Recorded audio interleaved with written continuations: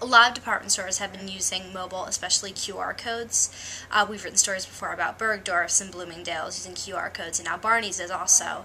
Um, I think that a lot of them use it to either drive sales on the mobile, devices because a lot of the QR codes go to their mobile websites, which are commerce enabled, or to drive sales um, to in-store locations by. Uh, you know, promoting events that are happening in store, like Barney's uh, Daphne Guinness windows.